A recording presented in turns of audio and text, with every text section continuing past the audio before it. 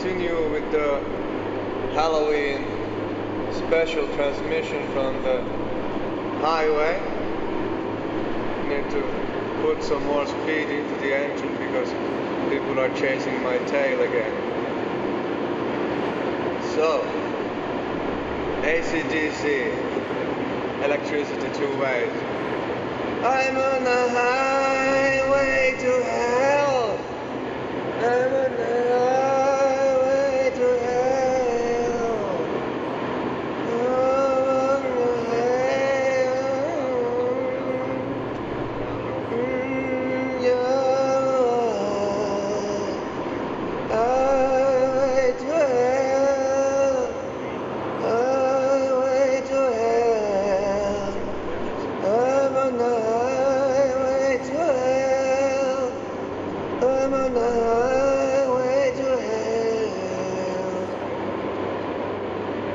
What is the highway to hell? What is the royal road and the broad road, taking which one gets beaten up a whole lot in the afterlife? What is the afterlife? Afterlife is anything that happens after right now. Afterlife began right now. Whatever comes in the future is your afterlife. Whatever is in your past is the matrix of the future or of your afterlife. You have your before life and your afterlife, and you have your present life. And your present life, like a present, gives you an option on how to deal with your both before life and your afterlife. If you fear the before life, the dead that are in your own past and your own debts and your own failings in the past, if you fear that before life, then you have an equal and matching amount of fear in the afterlife at every step of your afterlife that began right now. That is the afterlife. Plan for the afterlife by acting mindfully in the present life, in the now life, and take the before life as an integral part of the present and the afterlife. If the before life is left unreconciled, if there are things in there that you have fear or desire for, then the same fear and desire will be present in your afterlife, and the same fear and desire are also haunting you like ghosts and like mirages in the present life. Why not make the present life the axis of your existence, mindfully here and taking the past as equal and taking the future as equal. Both the linear space and in the circular space. What does it mean linear time and circular time anyways? Linear time is the perception that we share in here of a particular causal vector or a tunnel of continuum. In that things only occur once more or less, or so it is perceived, that there is no such recurrence of events as uh, one might expect. Now the question is, whoa, look at the moon. Now that's what I call a moon. That's what I call a Halloween moon. Moo,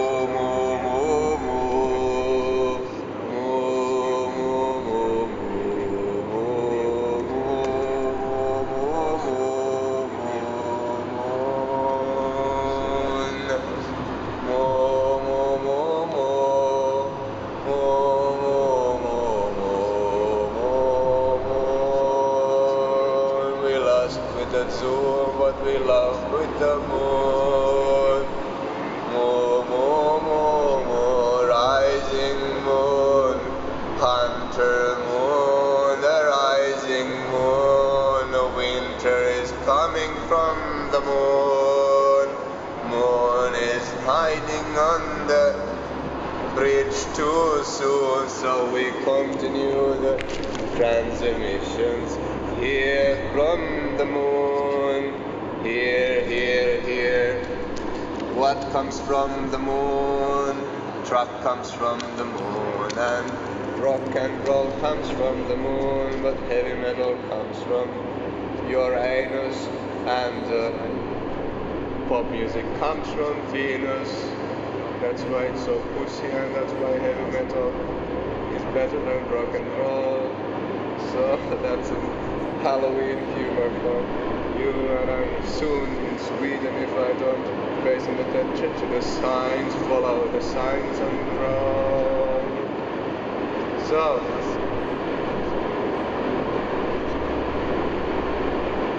the moon is always a major distraction in these recordings. I apologize for that because there are so many patterns and uh, so many kinds of stuff on the moon besides Jesus. So, anyways. Hell. Who went to hell? Dante went to hell, saw a couple of layers, came back to tell.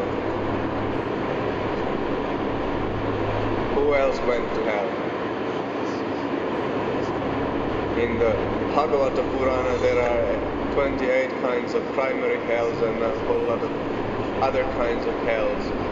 In the Tibetan Buddhist tradition there are hot hells and cold hells all over the place and so many that no one is likely to remember them by heart or be able to name them by name.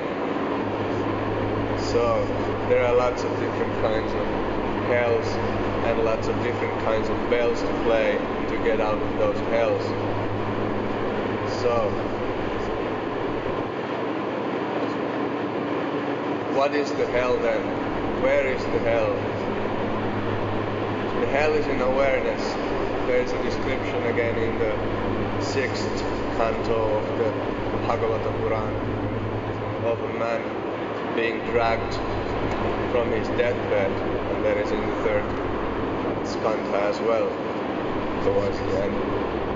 Uh, a description of a man being dragged from his body, uh, his uh, subtle or uh, psychic or conscious body being separated from the physical gross body and being dragged out uh, into through a long arduous road torments uh, to a royal grand tour of uh, different hells matching the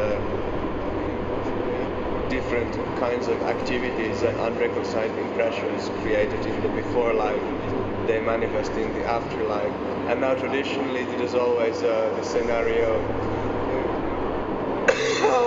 that was a quote the scenario is such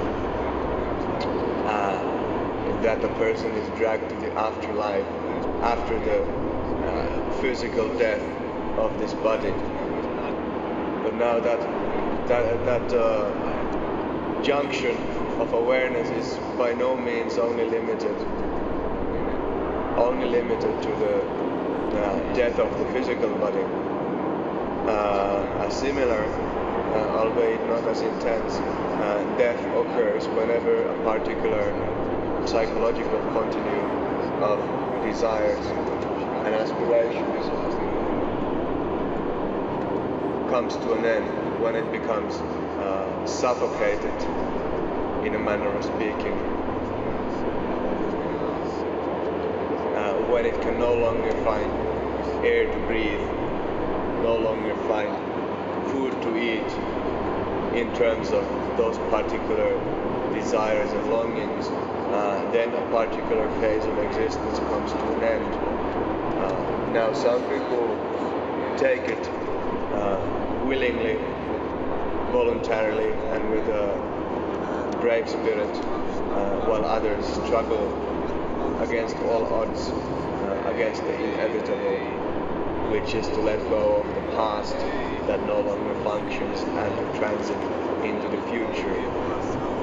So these transitions are happening all the time, and uh, in the event, our before life is unreconciled and unwholesome, and we have uh, a lot of both latent and active desires left to be fulfilled, then uh, we shall likely go through a period of intense anxiety, suffering, hell, experienced while still alive in this uh, human form.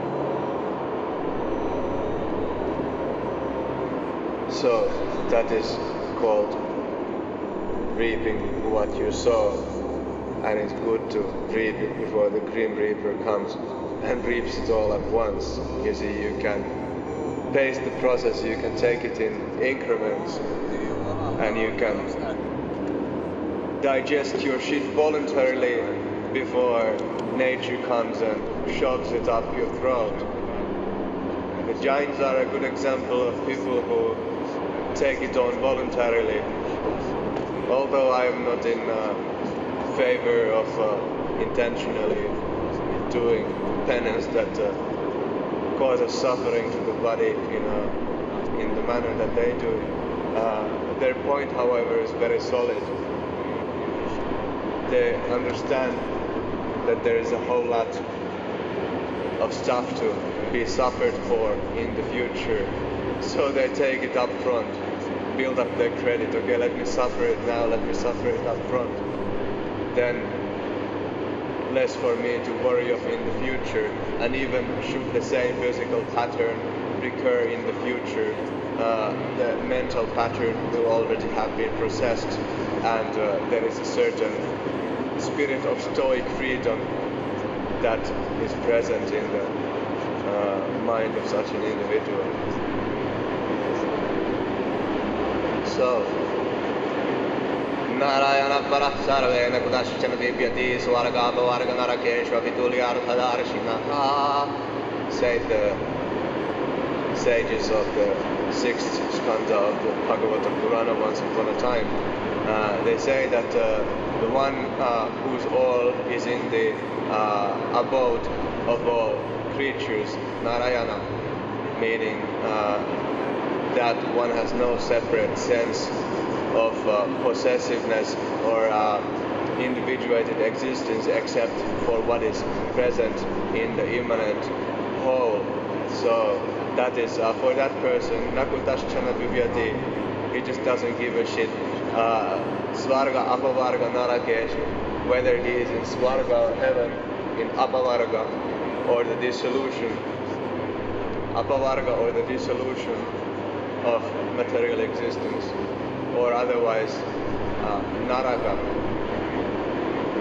or hell, the bad destination of Naras.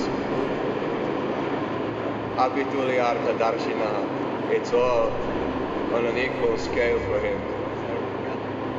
Nakutashchana Vivyati, he is not afraid of anything because it doesn't make any goddamn difference because it's all a part of the same process. Heavens and hells and sufferings and uh, enjoyments and yabba yabba ya ya ya. The whole merry league of uh, business in this world. It's all a part of a great process of coalescence, of equalization, and both sides are always required. So whatever you're being served with in accordance with your past desire, your past action, your past volition, then uh, that is what you shall get, and uh, that is all. So why why battle that? Just take it, take it straight like a human being, instead of eeling around like a weasel or something. Past, present, future, one continuum. You, before life, now life, and after life.